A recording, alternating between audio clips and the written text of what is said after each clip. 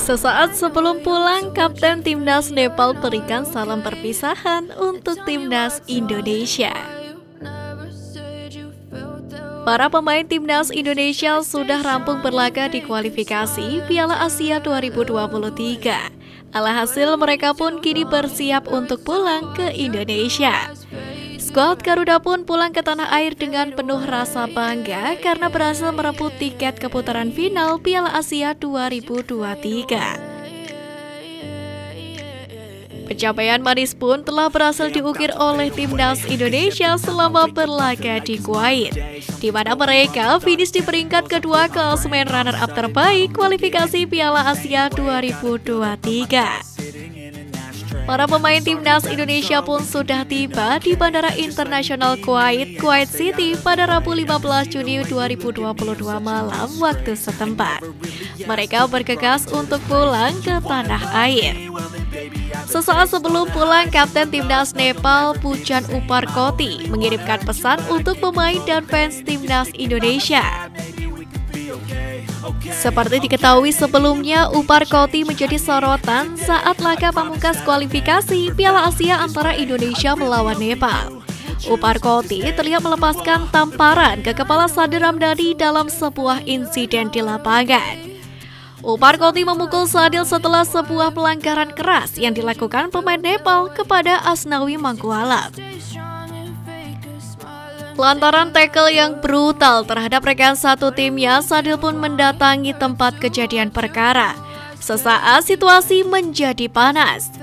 Pemain Nepal dan pemain Indonesia kemudian terlihat menenangkan Sadil. Saat pemain Sabah itu sedang beradu mulut dengan salah satu pemain lawan, tiba-tiba pukulan Upar Koti terlihat mengenai bagian belakang kepala Sadil.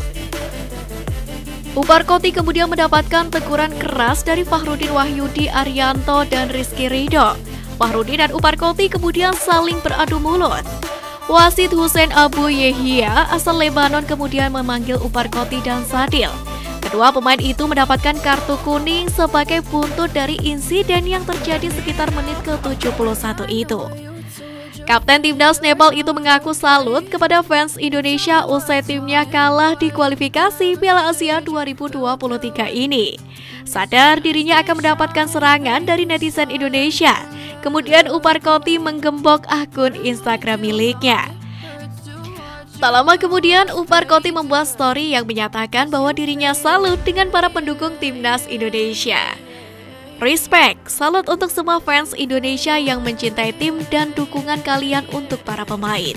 Terima kasih. Tulis Upar Koti dengan menyertakan penan Indonesia.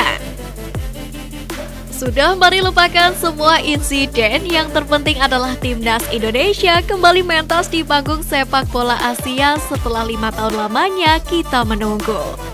Sebelum pulang ke tanah air, staf timnas juga mengucapkan terima kasih untuk WNI yang ada di Nepal yang sudah memberikan sambutan luar biasa untuk timnas Indonesia. Saya berterima kasih selama di sini sudah dilayani dengan baik, terutama teman-teman supporter luar biasa supportnya.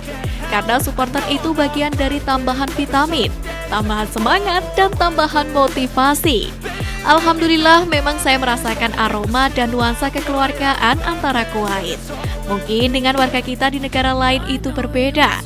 Kuwait ini silaturahminya nomor satu, top pokoknya. Kuyupnya itu loh, keluarganya itu yang luar biasa. Salut saya. Kata Sumarji.